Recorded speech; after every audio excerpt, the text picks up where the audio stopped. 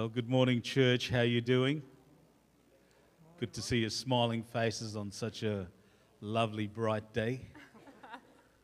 Well, it is. The sun's shining in my heart, and Jesus is on the throne, and that's what matters. Look, we're going to come into His presence and praise the Lord.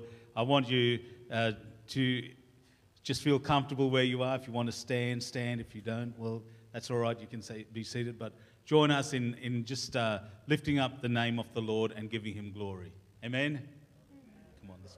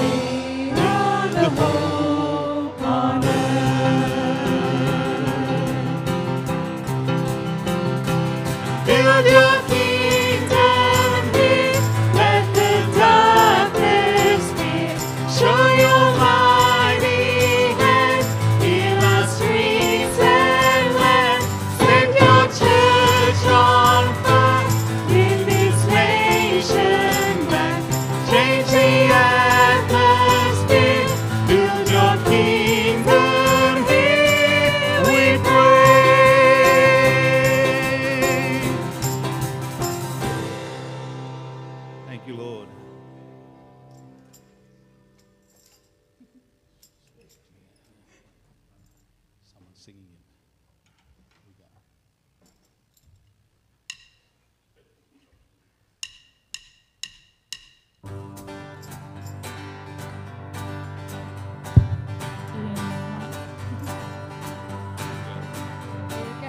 In my wrestling and in my doubts, in my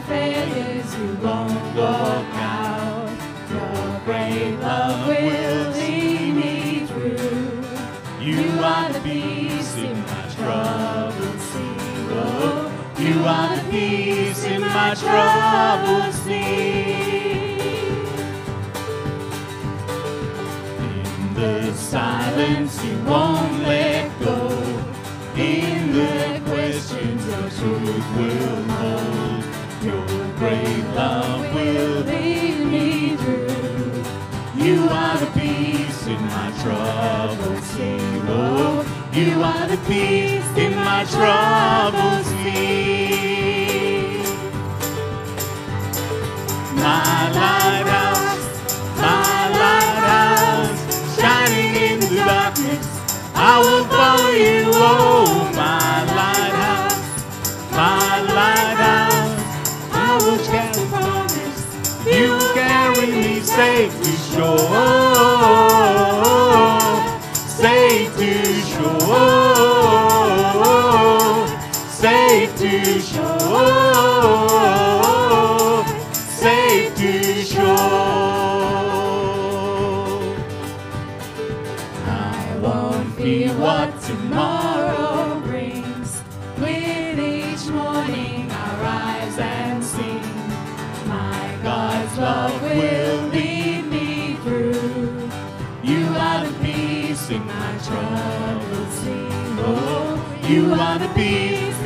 troubled sea. My lighthouse, my lighthouse, shining in the darkness. I will follow you, oh my lighthouse, my lighthouse. I will trust the promise. You will carry me safe to shore, safe to shore,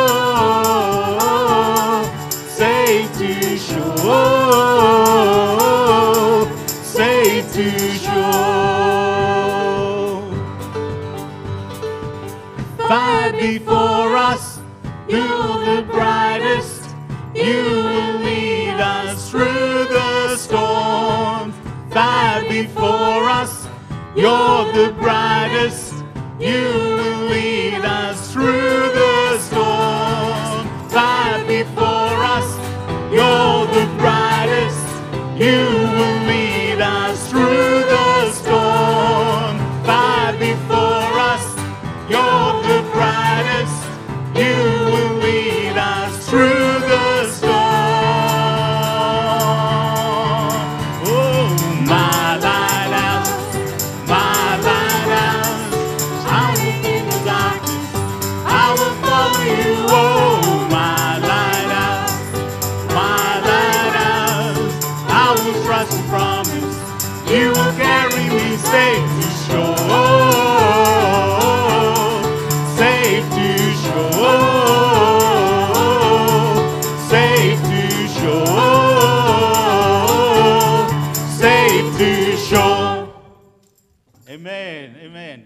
Look, why don't you take your seats?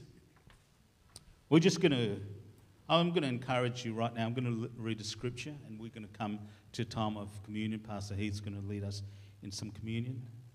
But um, why don't we just think about it? We're going to sing a song. The girls going to sing a song.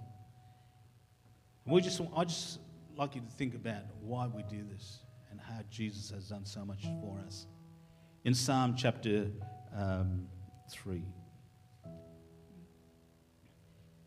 in verse 1, it says, Lord, how many are my foes? How many rise up against me? Many are saying of me, God will not deliver me. Don't you like it in God's word when it has a but? But you, Lord, are a shield around me, my glory, the one who lifts my head high. I call out to the Lord, and he answers me from his holy mountain. Father, we're so grateful that you sent Jesus. Lord, that you lift up our heads, that you surround us with your shields, and that no foe can come against us, Lord God. This morning, as we just think about what you did on Calvary, we are just so grateful,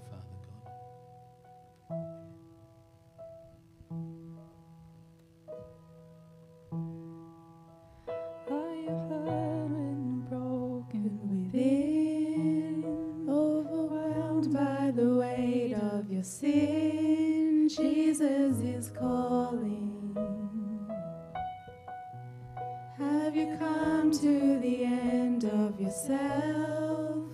Do you thirst for a drink from the well? Jesus is calling.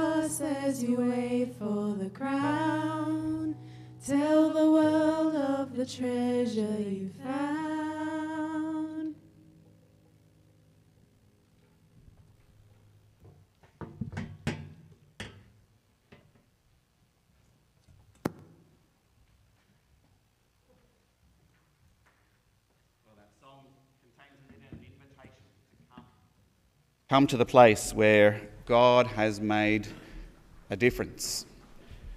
God's always been in charge, but He revealed Himself supremely in Jesus with His intention.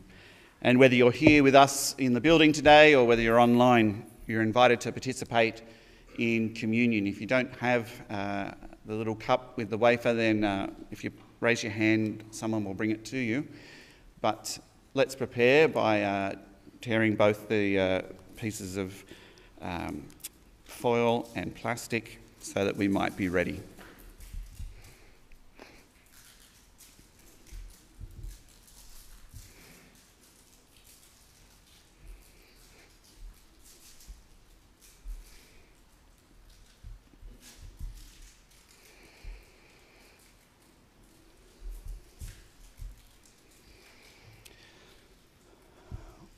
Today, the first Sunday of the month, we celebrate communion. It's also an opportunity for us to remind ourselves of our vision that we are joining with Jesus in the renewal of all things. One of the verses that says this so clearly is in 2 Corinthians 5:17 where it says, "Behold, in other words, pay attention to what God has done. it says, If anyone is in Christ, they are a new creation. The old has gone and the new has begun. That's what happens when we become people who are in Christ. And if we're not sure what that means, we're very thankful to Paul, who went on straight away to say, For God himself was reconciling the world to himself through the death of his Son. And then the last verse of 2 Corinthians 5 says, God made him, Jesus, who had no sin, to be sin for us, that we might be the righteousness of God, that we might have the right relationship with God. That's the newness that God is bringing about in our lives. It begins as we turn to Him in faith. It continues through our lifetime, and not just our lifetime, but through the lifetime of all of those of faith. And as we come to communion, we remember that Jesus gave Himself for us, the one who knew no sin. He became sin for us. It's a, quite a profound statement. But He did that so that you and I might be made new, that the old would go and the new would come. And we need to remember that and rejoice in that and know that that renewing continues on until the day that he returns. Jesus gave us this on the night he was betrayed. He took the bread and broke it and said, This is my body, which is given for you. Do this in memory of me. Let's eat the bread together.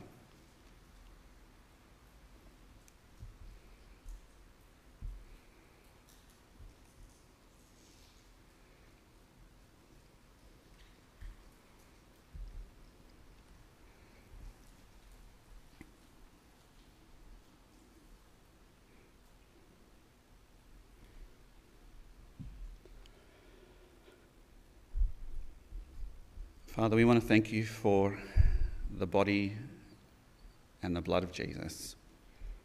We thank you that he gave his own life so that we might know true life with you.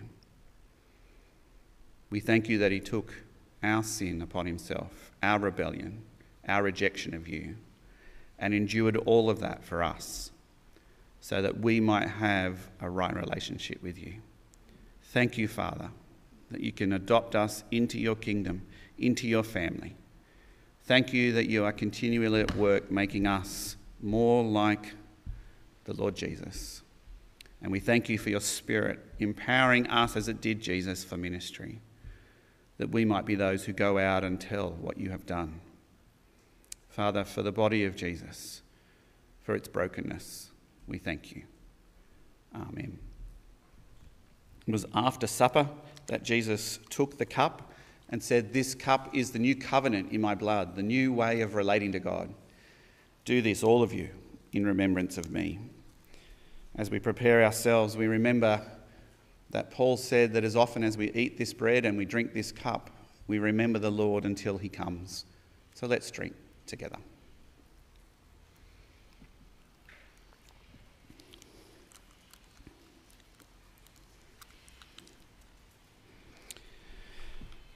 And Father, we want to thank you for the blood of Jesus. Precious is the flow that makes us as white as snow. We thank you that it has cleansed us and made us new. Help us to walk in newness of life, led by your Spirit and in step with the Spirit, that we might bring Jesus into our homes and Jesus into our workplaces and our neighbourhoods, that we might take Jesus wherever we may go, so that more and more people might come to know him and join in your great adventure of renewing all things. We ask it for the glory of the Lord Jesus. Amen. Just a couple of quick things, and then the kids are going to head out. Uh, first, straight after church today, we have a very short uh, meeting just to accept names for uh, deacon positions uh, in time for our AGM, so please be aware of that. A couple of things happening this week. Woman to Woman is on this coming Tuesday, so be in prayer for them and, of course, attendance. Uh, it may or may not be raining. There may or may not be a boat ready to bring you to church. Uh, secondly, there is a working bee I'm not sure how that's going to go next Saturday. I would wear Ugg boots or some kind of gum boots, perhaps, might be better. But next Saturday, if you want to help uh, tidy up the grounds and uh, you want to help, please speak to Bob. So they're the, the, the, main things, and you can read the rest in our newsletter. If you don't get it online, please uh, make sure you give us your email address so that we can send it to you. Otherwise, uh, most of our things are going to be on the website. Have a look at that. And of course, lastly, to remind you about our offering. It's wonderful to have uh, people giving online. It's, uh, it's easy, it's helpful, and uh, it's just as important and worshipping God as it is to bring it here physically. But we know that there are those for whom that's uh, been a tradition for a long time, and we love to have you here with us. And so, if you do bring your offering with you, just place it in the basket on the way into church. Well, we're going to head out with the kids, and while the kids head out, why not turn to those near you and say good day and ask how they're going?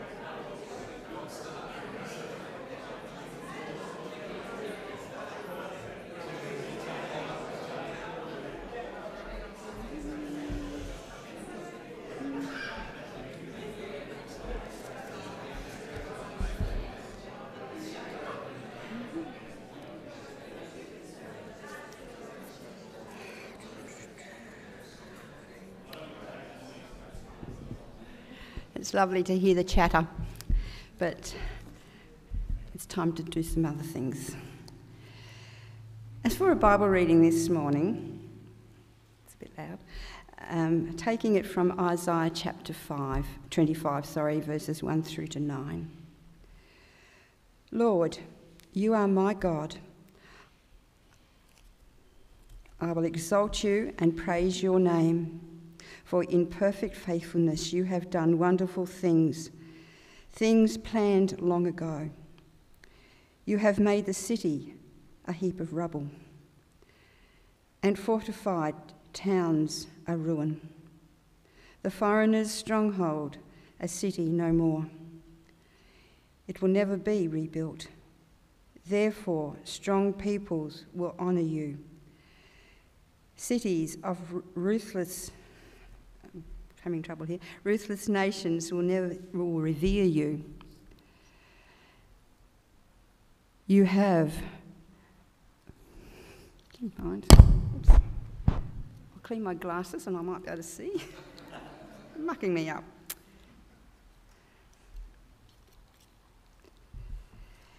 You have been a refuge for the, for the poor, a refuge I am really not seeing this morning. a refuge for the needy in their distress, a shelter from the storm, and a shade from the heat. For the breath of the ruthless is like a, a storm, oh boy, driving against a wall. We're only going to go before. Yeah, That's do. right. That's right. I just Yeah, I'm not seeing today. where, where's it up to? Um, Yep. So I'll go from verse four, and you tell me when to stop. All right. You have been a refuge for the poor, a refuge for the needy in their distress, a shelter from the storm, and a shade from the heat. For the breath of the restless is like a storm driving against a wall, and like a heat, like the heat in the desert. Your silence, the uproar of foreigners, as heat is reduced by the shadows of a cloud, so the songs of the ruth, the song of the ruthless is stilled. More? Yep. On this mountain, the Lord Almighty will prepare a feast of rich food for all peoples, a banquet of aged wine, the best of meats and the finest of, wit- of wines. On this mountain, he will destroy the shroud that enfolds all peoples and the sheet that covers all nations. He will, be swallow, he will swallow up death forever. The sovereign Lord will wipe away the tears from all faces. He will remove his people's disgrace from all the earth. The Lord has spoken. In that day, they will say, Surely this is our God. We trusted in him, and he saved us. This is the Lord. We trusted in him. Let us rejoice and be glad in his salvation. Now my glasses are cleared up now. Heat of the face. Right, let us take some time now in prayer. Heavenly Father, you are our God, and we exalt you and praise your holy name. We thank you that we can bring all things to you in prayer. We thank you that you are always with us. You promised that you would never leave us or forsake us, and we give thanks. We thank you, Father, that the privilege we have of being able to pray for one another. We thank you for the ministries that happen in this church during the week, for Kidscape, and for the new kids who came for the first time this year. And we just pray for Nico and Frederica and the others who work with these kids that you will bless them, you'll strengthen them, and that, Father, the kids will be so happy to keep on coming and then they'll bring their friends. We thank you for this opportunity of sharing the good news of Jesus through young lives. And Father, we thank you for the many many ministry opportunities you have during the week, particularly this week with Woman to Woman on Tuesday, for seniors or WISE on Wednesdays, and the craft groups on Friday, and youth groups, and the young kids, little kids on, on Friday. And we just thank you, Lord, for this opportunity of reaching to people who don't, they know about you in some of the um, craft groups, but they're not all walking with you. And just pray, Father, that as they hear your word in these various activities, as it's shared, that you will speak to their hearts and you will challenge them to think seriously about where they stand with you and that there will be a strong hunger in their hearts to come to know you as their Lord and Saviour. Father, we look around the world and we see a lot of sadness, a lot of strife. And Father, our hearts go out to the people in the Ukraine. What is happening there is just absolutely horrifying. But there are, in Ukraine, your people at work still. We thank you, Lord, for the missionaries who've gone and into that country over the years and have worked with the local church and for the church that is already in the Ukraine area. But at this time, we think of workers that we know of or know about serving with OM Australia in Ukraine, and they are still there. Seeking to reach out to the people, seeking to provide help and encouragement. And we pray, Lord, for them as they are very close to the very difficult areas in Ukraine, that you will keep them safe as they seek to honour you in their service to the people of Ukraine. And Father, it's indeed a privilege to pray for folk who are working here in Australia in your name. We think of Reese that we know, and for others like him who are working in our universities across this nation. We thank you, Father, for the opportunity they have to share Christ on campuses and for the Christian students who get on board with the staff workers and share in that ministry. And Father, for, for some who are at uni, don't really know much about you, but we thank you, Lord, for Christian students who befriend them and who share the gospel. And we pray, Father, that through this ongoing ministry throughout our universities, that there will be many who will come to know you as their Lord and Saviour. And Father, for the, the students who come in from overseas, countries where missionaries may not be able to go, we pray, Father, that they will find Christ whilst they are studying here in Australia and take the good news back to their own country. We remember, Father, for those within our church family who are not well at this time. We pray, Father, for a healing hand for them, for strength, and for the sure knowledge that, they, that you are with them, that they will know that and will lean on you and trust in you. In all these things we bring to you through the name of our Lord Jesus Christ. Amen.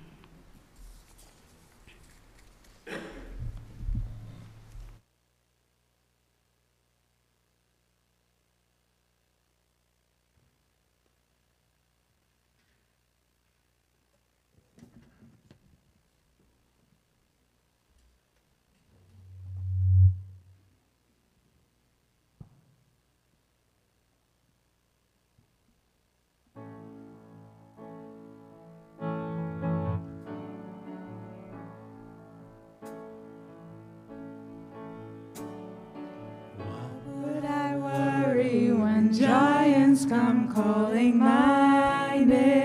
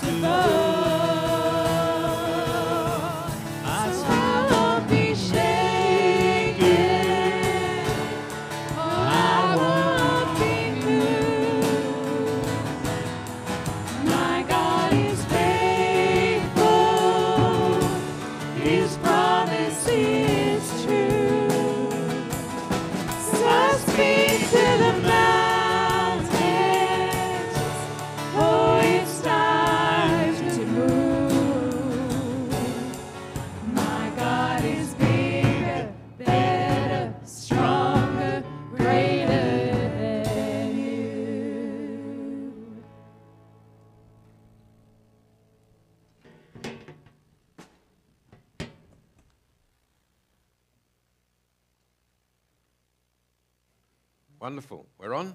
There we go. Do you want to move that to the side? Thanks, buddy. I'll just rearrange the furniture. Fantastic. Good morning. I know what it's like, Kath, when your glasses fog up. So you've got me hoping now mine don't. But uh, fantastic. Wonderful. Let's speak this morning on the subject of generations. Generations. And uh, I've been thinking about this um, for a while now. Um, there's a lot happening in our church, isn't there? There's a lot happening in families uh, that are in our church and connected to our church. And I've been thinking about the generations. In one respect, um, and I've shared this before, my father served in the British Army. He served in the Medical Corps uh, for a couple of years there. And um, I uh, attempted to follow in my father's footsteps. In fact, unknowingly, there's a lot of things that my dad did, who in many ways was a, genuine hero to me and a great example. And uh, there's many things that I tried to follow my dad in. My dad was a uh, professional footballer, as you know. I tried that. I didn't quite make the, uh, the grade that my dad did. Uh, I can't say I represented, uh, you know, played for Liverpool and played at Wembley like my dad. Uh, my dad was in the army. I enlisted. I tried to enlist in the army, but I passed all the academic uh, requirements and failed on the physical, which I thought it would be the other way around because I prided myself on my fitness and my health. But they told me that I was too small. And uh, so I remembered that. And I remember as I left the room after being, telling, being told by the sergeant, whoever it was, I said, uh, You want to hope that conscription doesn't come in in Australia because if I'm too small now, I'll be too small then. Um, but uh, my father did serve, and my father was a professional artist, a painter. I, I, tried to follow in his footsteps there. I did sell two paintings. Um, I think I got 20 bucks for them, but that's irrespective. um, there was many other things. My dad was a musician. He played drums in a big band. Uh, I tried my hand at guitar, uh, Matt, not to your standard, but I, I gave it a lash. Um, but there are many things that my father achieved, and uh, I've been thinking about uh, my dad in the army because in two weeks' time, my eldest daughter Courtney, some of you know her, she's 25, she starts her career in the army, so she's off to Wagga in two weeks' time. She's uh, accepted an offer uh, to be in the, the area of communications and, and in fact, in the intelligence corps. And so uh, we're a bit nervous. Of course, my wife, if you know her, she's afraid that Courtney's going to be sent to the front line in Russia somewhere. Um, but I don't think that's going to happen. But she could be posted anywhere in the world after the initial first six months of training. And I've just been thinking about that in terms of the generations because I reminded my daughter, I said, Courtney, you know, your granddad served in the army. And she'd sort of forgotten that. And it was kind of like, wow, you know, um, the generations, you know. And uh, it's interesting how that kind of unfolds in life, sometimes unknowingly you know, we end up taking paths that generations before us have, have taken. And so it's, uh, we're a little bit fragile in our home at the moment. There's a few different changes happening. Um, but uh, it's all good. But that song is a beautiful song. You know, I'll not be shaken. Hallelujah. Anyway, so I may get emotional this morning talking about emotion, uh, talking about emotions, talking about the generations, but uh, we'll see how we go. So, this thought of generations, I don't have one text this morning, there are various scriptures that I'd like to, ring, to read. Uh, my understanding of the scriptures is that God is a generational God. And I believe a healthy, strong church is a generational church, a church that reflects and represents the many generations. And I think our church does that. And what a beautiful thing that is. You know, you, you can come here on Friday and see playtime, you know, little kids that are one year old, two year old, and and then at the other end of the spectrum, woman to woman, the craft groups, you know, seniors, wise, you know, we've got this beautiful generational thing happening in our church. And, uh, you know, we're not only 127 year old, but we have this beautiful representation of the generations. And, uh, you know, I think one of the things is uh, that we often think when we think of generations, we think of the up and coming generation, the next generation, and we can tend to focus on that. But um, I, I don't think that's the case. I think that, that, that a healthy, strong church has all of the generations and serving and loving Jesus together. And, uh, you know, the young and the old, and the old and the young. And I think that's a beautiful thing. And uh, so I'd like to speak and, and, preach into that this morning. So I'd like to share just uh, several scriptures uh, that touch on this theme of generations. Genesis chapter 9 is a beautiful story. Um, of course, we have the flood, uh, but uh, we also have the rainbow. And we have this rainbow that God sets in the sky. Uh, and the rainbow is a covenant. It's a covenant that God makes with himself and mankind to never flood the earth again. In fact, if you read the story, it says that God will see that rainbow and he will be reminded himself of the covenant that he made to never flood the earth again. But in verse 12 there, Genesis 9, verse 12, it says that it is a covenant, the rainbow as a covenant, it says, for all generations to come. you know, maybe you've seen the rainbow this week. It's God's rainbow. Um, despite what happened last night at the SCG and the rainbow that's taken there, the rainbow is God's rainbow. The colors of the rainbow are God's colors. It's God's rainbow. And it's this covenant that He makes for all generations that He will never flood the earth again. Genesis chapter 17 records this uh, amazing conversation between Abram and God. And here, God again establishing a covenant with Abraham, the covenant that He will be their God and that Abraham and the people will be, uh, God will be their God. God will be their God, and, and we will refer to God as our God. And in verse 7 there it says, And this covenant, the covenant of God being our God. And of course, in that story there, uh, we are there. uh, uh, the generations uh, uh, of, of, as numerous as the sand, or the descendants there of Abraham as numerous uh, as the sand. Of course, that was given to Abram when he was without children. Uh, but this beautiful verse in verse 7, it says, and, and this covenant to be your God and you'll be my people is for all the generations to come. In Exodus chapter 3, we have again a conversation between God and Moses. You remember this conversation at the burning bush.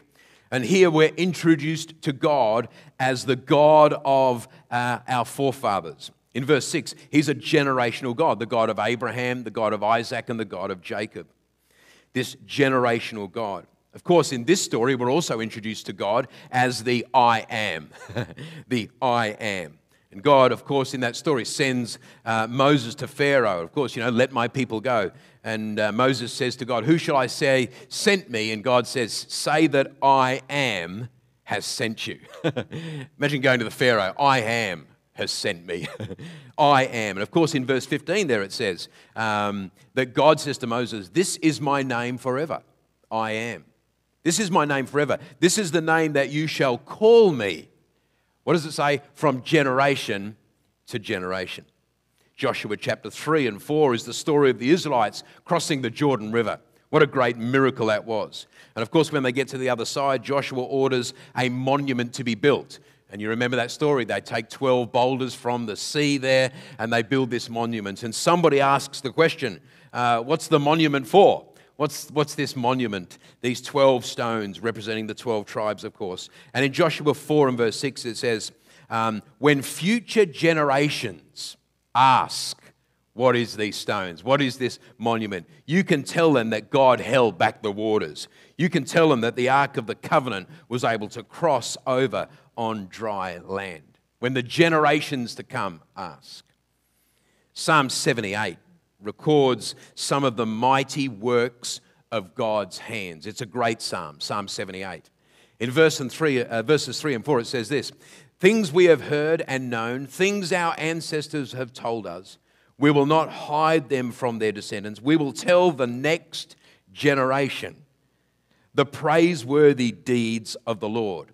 We will tell the next generation of his power and the wonders that he has done. Two more references to generations. Ephesians, one from the New Testament, Ephesians 3:21, and uh, reading verses 14, 21.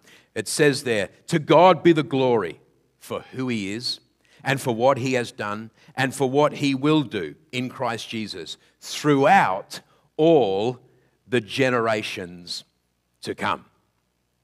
And one more in Psalm 45, Psalm 145, and I'll read it. Psalm 145 says, I will exalt you, my God, the King. I will praise your name forever and ever. Every day I will praise you and extol your name forever and ever. Great is the Lord and most worthy of praise. His greatness no one can fathom. One generation commends your works to another. They tell of your mighty acts. And in verse 13 it says, Your kingdom is an everlasting kingdom, and your dominion endures throughout all generations. This theme, this thought of generations. I have three observations from these texts that I've just referred to. And the first one is this that God is an everlasting, generational God. He's an everlasting, generational God. When you read the Bible with a generational mindset, you discover that God is both the God of every generation and He is the God to every generation. We know that God is the same yesterday, today, and forever. God does not change. He is everlasting. And He's an everlasting generational God. You know, the thing that I find interesting is that the same God, the same God that our forefathers loved, the same God that our forefathers obeyed, I'm talking about uh, the patriarchs, the same God that they loved and served and obeyed, and all of the stories associated with those patriarchs, the forefathers, are the same stories that we tell today. It's the same love that we have for God. It's the same steps of obedience we take. And it's the same stories. Right now, downstairs, I think Heath's still down there, he's telling the kids uh, about David. and uh, downstairs, they're having a fresh look at some of the great characters in the Bible. But you know, those stories of David, David and Goliath, and David as king, and David as a songster and a psalm writer, and, and yes, David the adulterer and David the murderer, all of those stories about David, they've been told from one generation to the next, to the next generation, to the next generation. Those stories stand the test of time.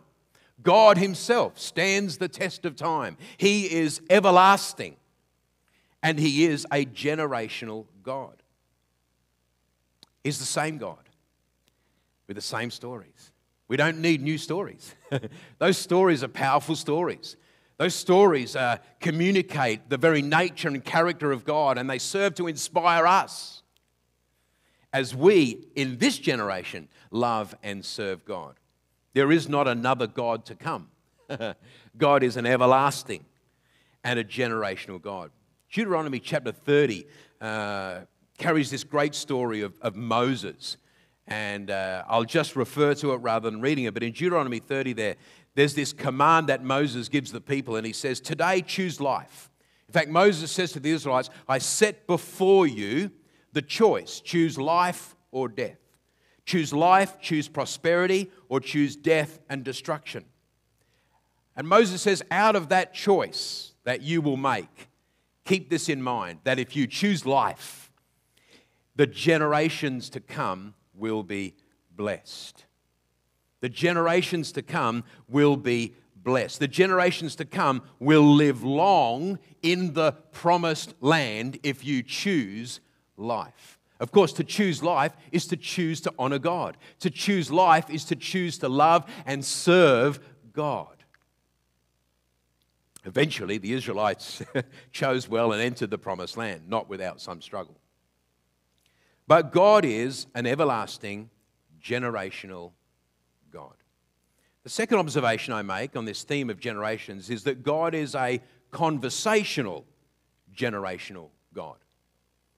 It's interesting when you read these passages uh, that refer to the generations that they are uh, uh, enveloped, if you like, with this conversation.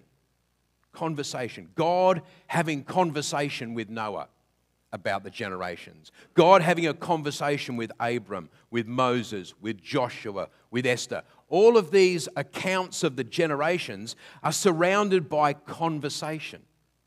It's a conversation that God's having. Psalm 145 that we read is an example of this. This passage in, in, in Psalm 145 is a mandate for generational interaction. The design of it, if you read Psalm 45, the design of it is it starts with a, a commendation, a declaration, a, a meditation, to speak and, and to declare and to pour out and to sing aloud about this generational God. If you read it there, Psalm 45, it's filled with vivid verbs that call us to action, that call us to interact with the generations. We are to declare God's work. We are to proclaim God's greatness. There is that sense of public praise for the things that God has done, the things that we've seen and heard about God. We are to give Him praise for that.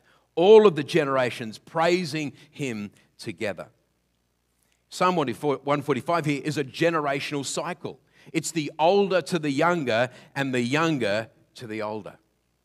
This generational praise, this generational honor of God. I believe that the biblical duty of every generation is to ensure that the next generation hears of the mighty acts of God, hears of the mighty power of God. These biblical stories, and together with our personal testimonies, is what we pass to the next generation or another generation, one that perhaps gone before us as well as the one coming behind us. You know, we're in the middle of, and we're taking a break for a moment, we're in the middle of a series, Heath and I, where we're, we've set out the table and we're having a look at the, the conversations that Jesus has around tables. This is an interesting thought that we can have these conversations about generations around the table.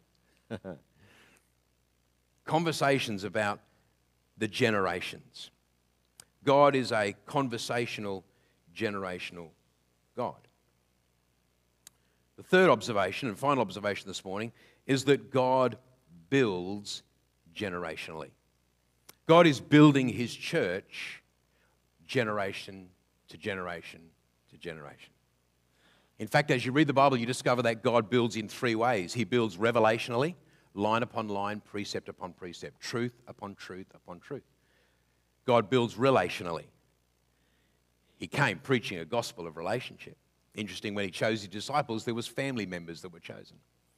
But God also builds generationally, one generation to another. Now, the book of Acts records the day of Pentecost, uh, the birth of the church, as we refer to it as. And the interesting thing is that the, the church was birthed by the generations and the nations coming together in unity. This was the birth of the church.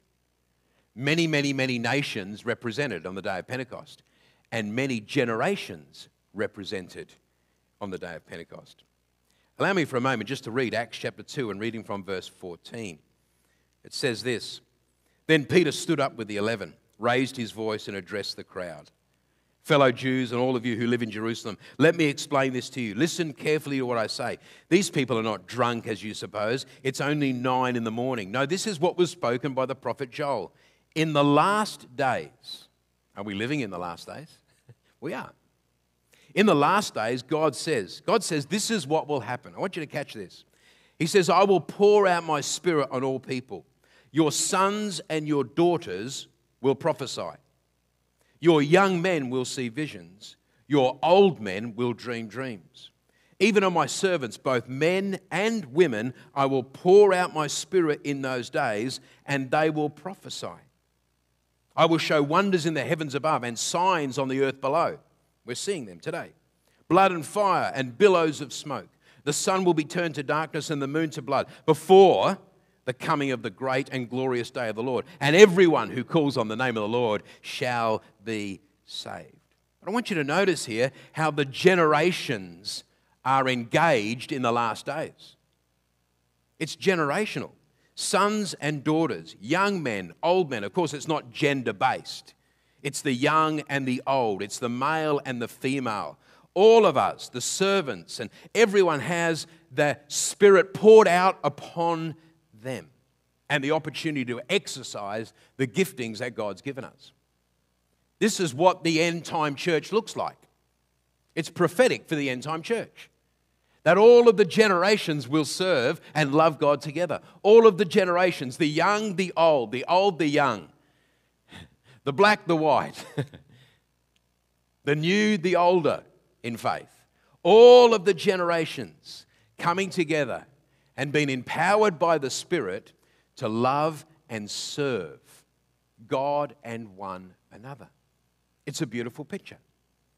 It's a beautiful picture of our church, of all the generations loving God together and serving God together and proclaiming his great and mighty power and all of his works and all of his deeds.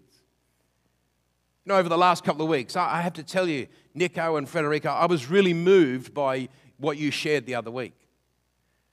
You know, the numbers are important, but they're not the main thing. But to have 31, you know, primary school kids, 10 visitors, only two from the church, that's a testimony.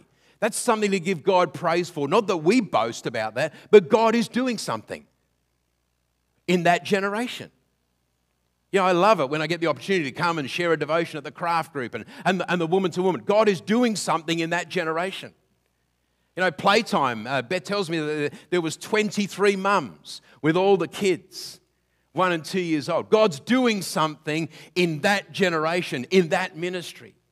You know, I loved it this morning when we, when we stand here and, and we can look at the generations, younger and, and, and older, in, in the creative ministry. One of those ministries in the church where all the generations can come and serve together. What a beautiful picture that is. When I first came to our church, and I close with this thought, I, I, I was introduced to this thought, and I'm just going to bare my heart here for a moment. I was introduced to this thought of silos. And there was some conversation that was happening that, that in our church, some of the ministries are silos. In other words, they stand alone and they do their own thing, and you know, I, I, it didn't sit well with me. I'm not used to that, not that language, nor seeing that. And maybe there are reasons for that. But you know, now two years on, I, I, I don't actually think that's the case. I don't think that's the case at all. I think we've got so many beautiful ministry in our church that are reaching different generations. And God is at work in that. But this is what I do want to encourage us in church in that we ought to be celebrating that.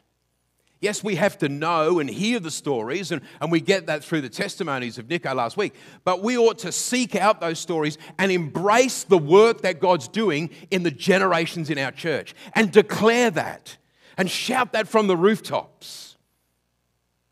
What God is doing amongst us. It serves to encourage us and it serves as a witness to God and His work amongst us and beyond.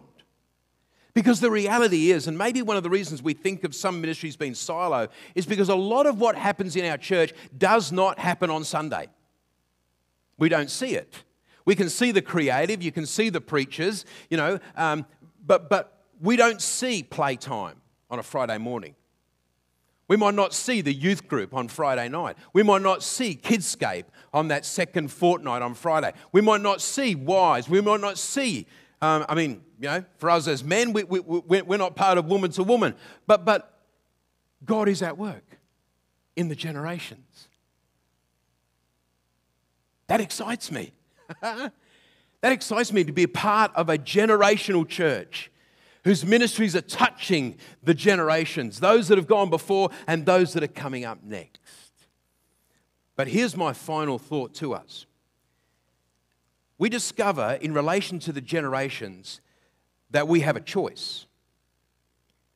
In Judges chapter 2 and 6 through to 13, we discover a lost generation.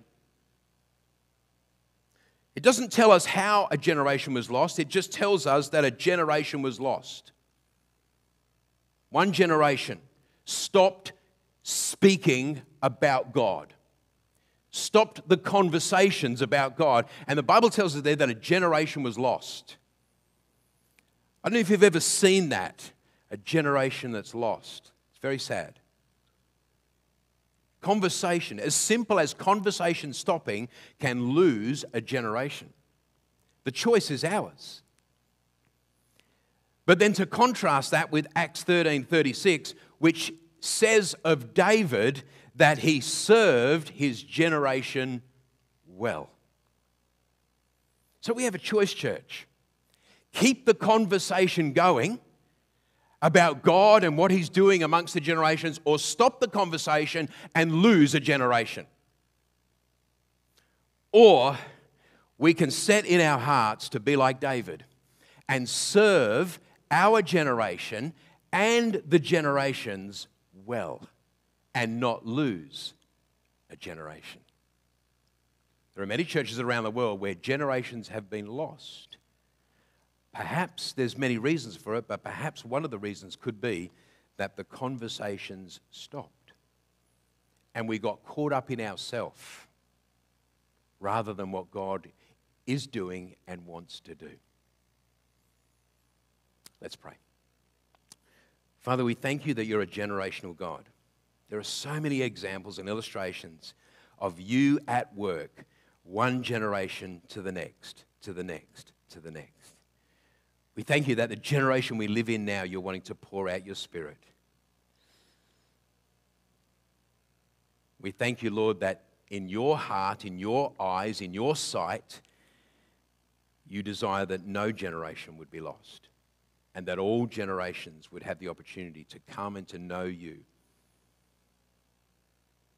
Pray that you would help us at MCC to keep conversations about the generations and what God has done in the past, what God is doing now, and what God you want to do in the future. Help us to keep those conversations alive so that we don't lose a generation. Thank you for being our God. Thank you that we have the opportunity to be your people here at MCC. We thank you for this in Jesus' name. And everybody said? Amen. Amen. God bless you, team.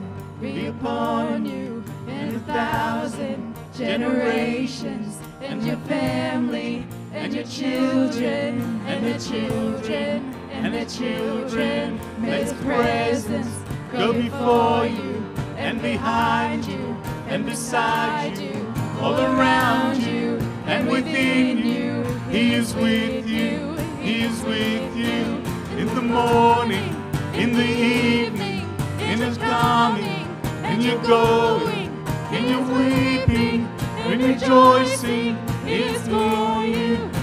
For you, He is for you, He is for you, He is for you, He is for you, He is for you, He is for you, He is for you, He is for you.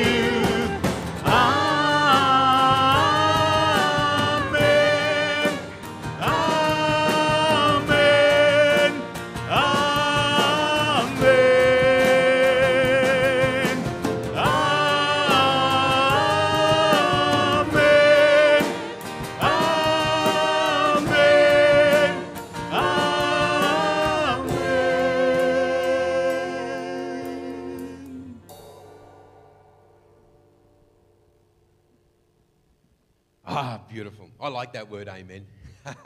I believe it. That's what it means. Hey, that was cool, hey? Not knowing what I was speaking, choosing that song about the generations. That's pretty cool. Wonderful. I'm going to pray, then we're going to stay where we are. We're going to go straight into this short meeting that I believe is going to take 15 seconds. So, um, Father, we thank you for today. Thank you for the opportunity of being able to be together and, uh, and also to experience your presence amongst us through the worship and through the ministry of the word. Pray, Lord, that you'll be with us as we step into this short meeting now. Uh, may your will be done in Jesus' name. And everybody said, Amen. So, why don't you have a seat? And uh, I'm not sure how this plays out. I'll turn to Craig. Okay, there you go.